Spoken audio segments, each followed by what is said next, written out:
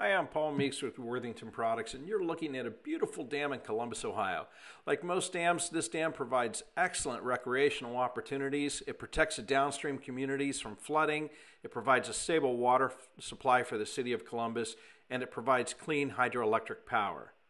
But what happens when people get too close to dams like this that are spilling water? This first example shows three fishermen in a boat at a Lowhead Dam during high water. Put your life on! You're!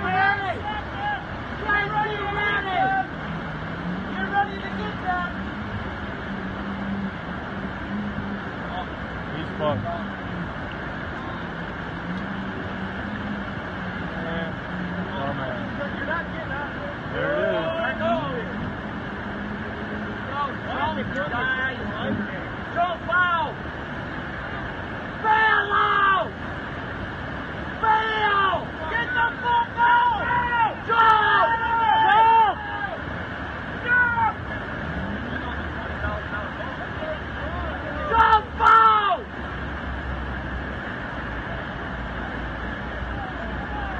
On the phone? Oh, is that fucking gonna float out?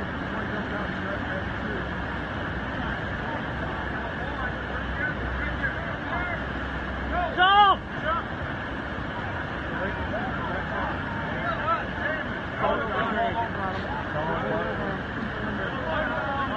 Oh, yeah, one's on the Get boat. out of the boat! Get out of the boat!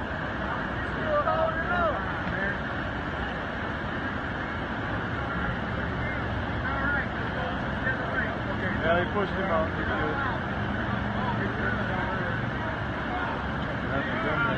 good. Swim, dude!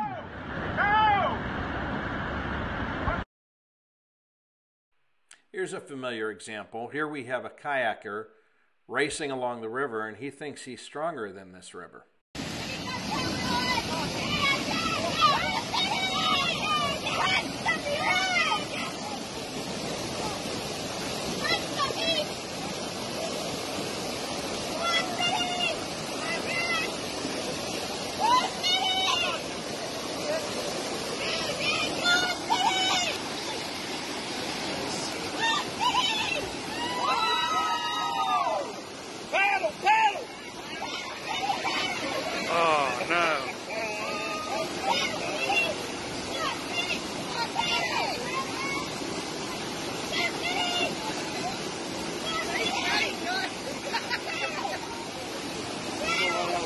Yeah, there he goes.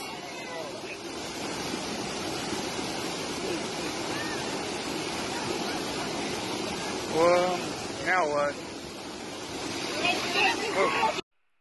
This last video is compliments of the Tennessee Water Resources Agency, who put together a great simulated effort showing what happens when the motor on a fishing boat dies. And folks, this happens all too often. Unfortunately, in this example, their dummy is fishing below open spill gates at a hydroelectric dam.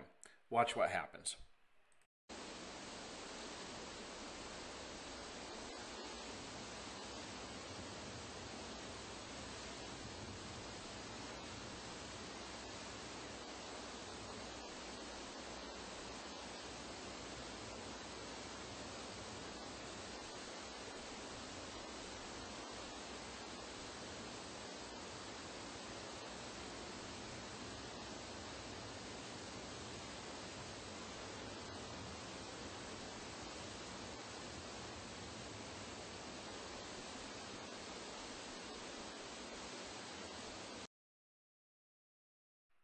Those are all great examples, but you may be saying, hey, I operate a hydroelectric dam. This stuff doesn't happen at my type of dams. Well, think again. Here's a hydro dam in Tennessee, and you're looking at the floodgates open during high flows. And here's what you don't know about this dam. In June of 2018, a North Carolina man died when the motor on his boat failed and he was sucked through one of these open spill gates. Again, in July of 2019, two men were fishing above the dam, their motor died, and they passed through one of these open spill gates. Both were severely injured. Fortunately, they survived. You think that's enough? Well, think again. May of 2020, just this year, one man died when the motor on his boat died. He was fishing below the gates, and the boat got drawn up into the boil zone, submerged, and he died. And then again this year, November 2020, another man died, exact same circumstance, fishing below the dam. His motor died. He was drawn up into the spilling waters. The boat flipped, and he was not found. This happens all over the United States, it happens all over the world. And so, what we're asking you, hydroelectric dam owners and operators, is what is your public safety plan? What is your plan to prevent boaters from coming up into these dangerous tail race and spillway areas below the dam? And also, what is your plan to prevent people from coming in contact with gates above the dam? Do you have signage? Do you have barriers? Do you have audible devices?